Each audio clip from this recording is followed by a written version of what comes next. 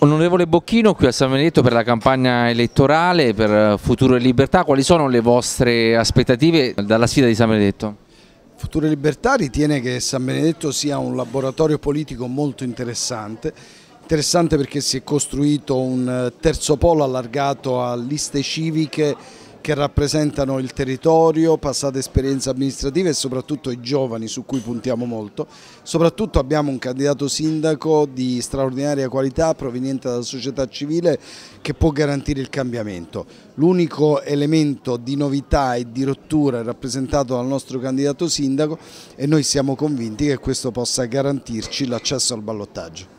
Questa sera è qui, a pochi chilometri da qui c'è un incontro della, del PDL con una telefonata di Berlusconi. Molti si chiedono, Futuro e Libertà per tanti anni ha appoggiato Berlusconi, adesso va contro.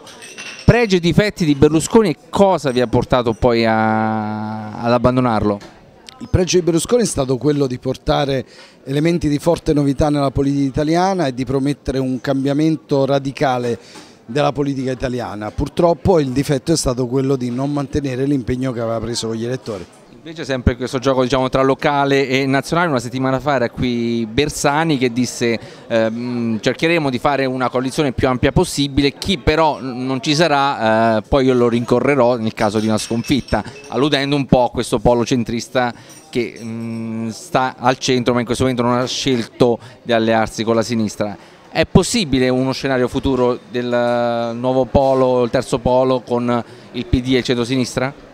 Noi siamo distinti e distanti da entrambe le coalizioni al momento e l'obiettivo è quello di portare il nostro candidato al ballottaggio e quindi il problema sarà degli altri che dovranno scegliere.